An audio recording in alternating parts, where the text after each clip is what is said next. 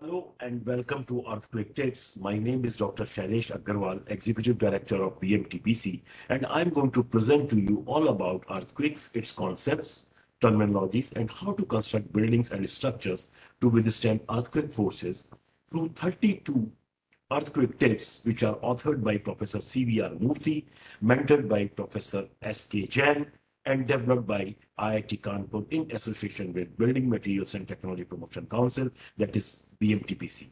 Through uh, these tips, our aim is to spread right technical information in simple to understand language to our professionals who are in the field designing and constructing structures, especially our architects and engineers. Before we start, let's make a pledge that any new structure we design or build must be earthquake resistant. Today, we are going to uh, look at earthquake tip number two, which is on how the ground shakes. As you can see uh, in this figure, uh, I told you in uh, earthquake tip one that earthquake is a violent shaking of ground due to release of large elastic uh, strain energy through sudden uh, slip at faults. From this fault, this energy travels as seismic waves. Seismic is another terminology for earthquake. So these seismic waves travel in all the directions through earthquake layers, reflecting, refracting at each interface. When these seismic waves travel through the body of the earth, they are called body waves. And when they travel through uh, the surface, when they come at the surface, they are known as surface waves. Body waves are of two types as shown in this figure. P waves, which is primary waves, and S waves, which is secondary waves. Surface waves consist of uh, love waves and Rayleigh waves. As shown in figure, under P, P waves, material particles undergo elongation and compression in the direction of energy transmission. Whereas under S waves, the material oscillate at right angle to the direction of energy transmission. Now let's look at love and Rayleigh waves. Love waves, which are surface waves, cause surface motion similar to secondary waves, whereas Rayleigh waves make material oscillate in elliptical path. P waves being body waves are the fast, fastest, followed by S, love, and Rayleigh waves. S waves uh, primarily do not travel through liquid. However, S waves in association with love waves cause maximum damage to the structure on the surface in both vertical and horizontal directions. Let me also tell you that P and S waves, which are primarily body waves, when they reach the Earth's surface, most of their energy is reflected back to the Earth. Therefore, shaking is more severe. It's around two times at the Earth's surface than at substantial depths below the Earth. This is the reason that while designing structures above the ground, we make use of higher level of acceleration than we use for buried underground structures. Now let's move uh, to how do we measure earthquakes. The instrument for measuring earthquake shaking is called seismograph. Uh, the seismograph has three components, the sensor, the recorder, and the timer. This figure shows one of the earliest seismograph uh, recording the earthquake. You can see here a pen attached at the tip of oscillating pendulum Pendulum is nothing but a mass hung by a string from a, from a support. Uh, this pen uh, marks on a chart paper, which is held on a, a drum rotating at constant speed. The pendulum mass, the pendulum mass along with the string and the magnet and its support together constitute a sensor. The drum and pen and the chart constitute the recorder and the motor which rotates the drum at constant speed uh, forms the timer. This is one of the earliest seismographs.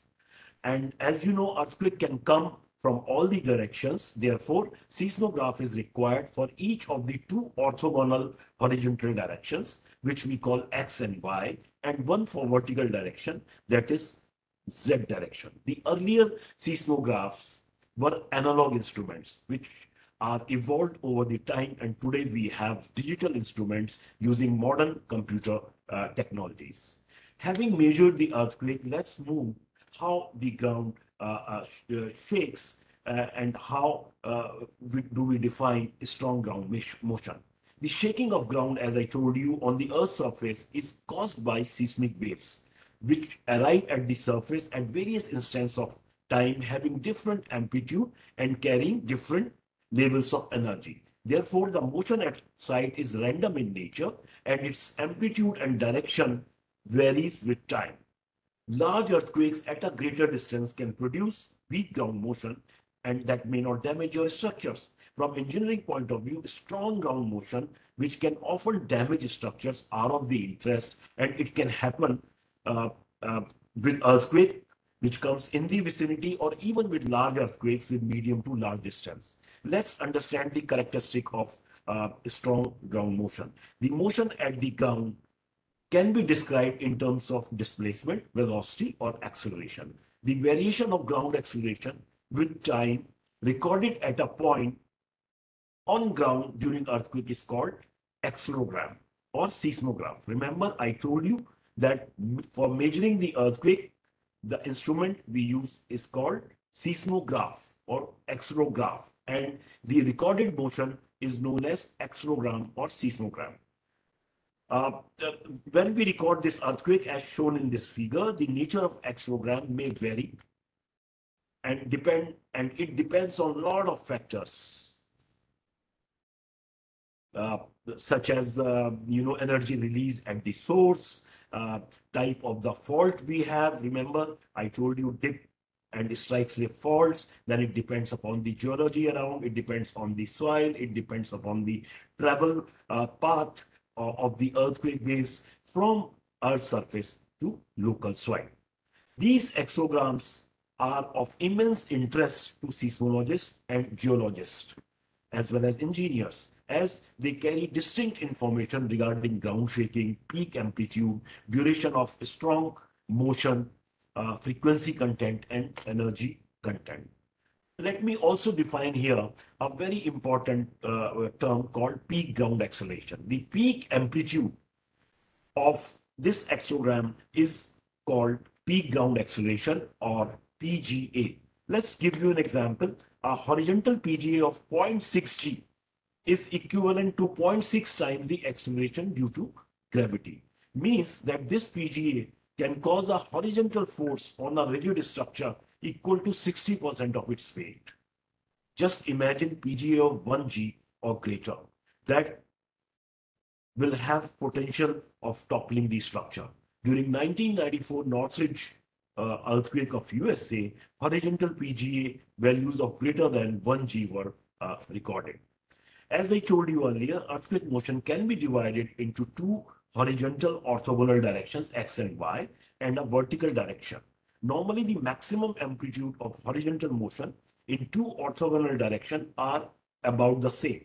However, the maximum amplitude in the vertical direction is usually less than that in horizontal direction most of the design codes take uh, vertical design acceleration as uh, one half to two third of horizontal design acceleration. With this, uh, we come to the end of this earthquake uh, tip number two. In summary, the ground motion is characterized in terms of accelerogram, which is the variation of ground acceleration with time during earthquake at particular location and can be used for design purposes.